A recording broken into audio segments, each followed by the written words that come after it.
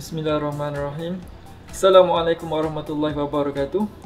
Nama saya Muhammad Razzi bin Noh, uh, Facebook Katusha FX. Uh, saya tinggal di Subang Jaya, dah berkahwin, uh, anak dua orang. Saya sebenarnya full time trader sejak 2012 lagi. Saya selepas saya belajar daripada UIA, uh, saya dulu degree dalam aerospace tetapi saya berminat dalam financial uh, industry. Saya telah bekerja di Okachi Securities atau Okachi Brokerage Firm di KL. Di situ kami uh, trade commodities. Uh, commodities ni kami sebagai macam seperti remiser di situ. Kami uh, macam ada leasing untuk mengambil di orang untuk trade di sana. Sebab so, di situ under Bursa Malaysia.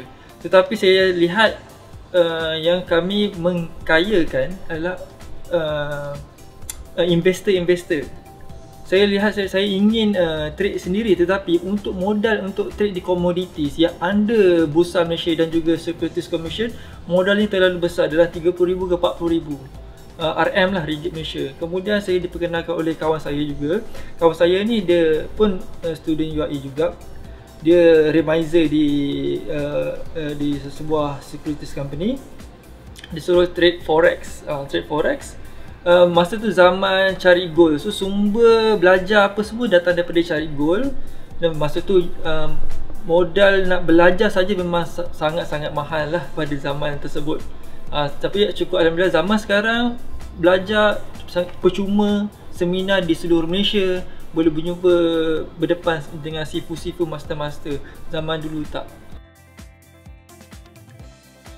Dengan memang kita tahu di arena forex ramainya trader-trader lelaki penuh di Malaysia. Tetapi saya dapat tahu study case. Study case adalah mana kita cerita berdasarkan fakta di mana uh, trader pertama dalam ranking Mocha sekarang nama dia Hilda. Hilda ni adalah orang Indonesia tiga anak dan dia adalah uh, suri rumah. Dan dia uh, menduduki ranking pertama di Mokas di mana satu Malaysia boleh tengok lah satu dunia boleh tengok lah ranking dia. Maknanya uh, di situ kita boleh tengok uh, perempuan boleh trade forex.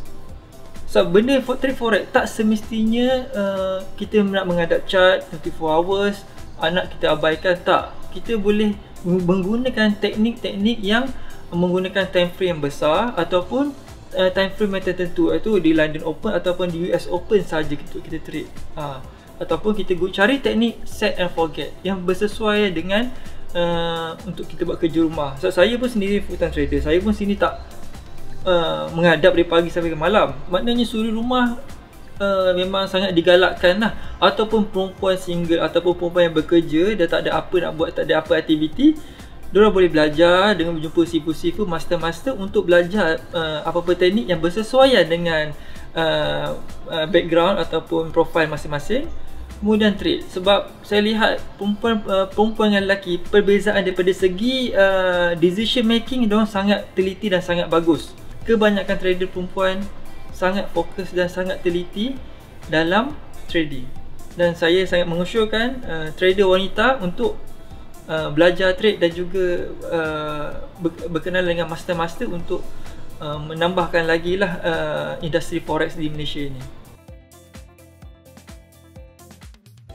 Seperti mana kita tahu, ramai trader ingin menjadi super trader. Apakah dimasukkan super trader? Super trader adalah trader yang menggunakan teknik secara konsisten iaitu tidak bercampur hari ini minggu hari ini pakai teknik ini minggu depan pakai teknik lain dia seperti butterfly trader. Trader yang super trader dia hanya menggunakan teknik yang sama.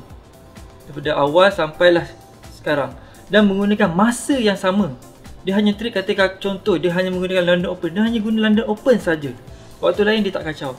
Yang ketiga adalah withdraw consistent.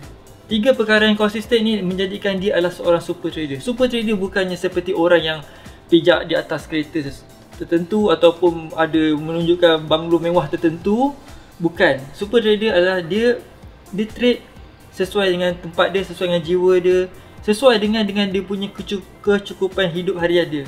Dan lebih daripada itu.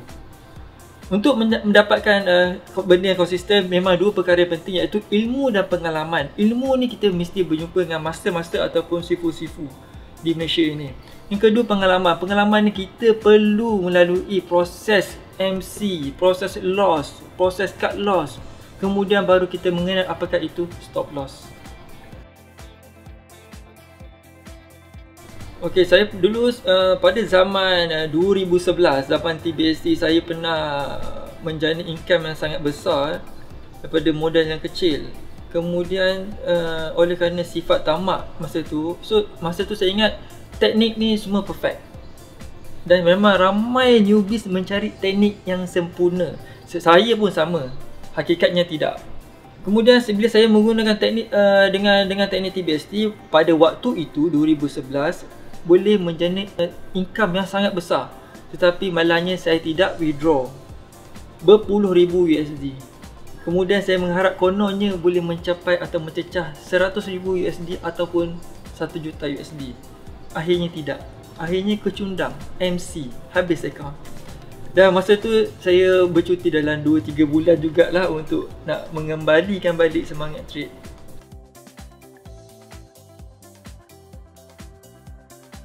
Uh, nasihat saya untuk trader-trader lama saya mengesyorkan tuan-tuan atau perempuan uh, mencari ataupun belajar uh, subjek ataupun topik psikologi di mana bagaimana nak menguruskan waktu, menguruskan teknik dan juga menguruskan kehidupan harian kita.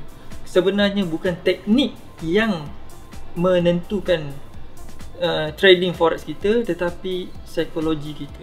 Untuk uh, newbies Newbies saya mengharapkan agar tuan-tuan semua Datang berjumpa dengan Sifu Datang ke kelas seminar-seminar yang dianjurkan oleh pelbagai broker waktu ini Dan mengajar secara percuma Ambillah peluang di sini untuk belajar forex trading yang sebenar Bukannya skim ataupun tidak Bukan Sebab forex ialah perniagaan Bukan skim Bukan benda nak esok hari ni deposit esok boleh dapat Lamborghini tak? Hakikatnya tak, tapi Forex ialah perniagaan. Saya Razi daripada Subang Jaya. Dengarlah CTC FM. Setiap anda bersama kami, kami teguh di sisi anda.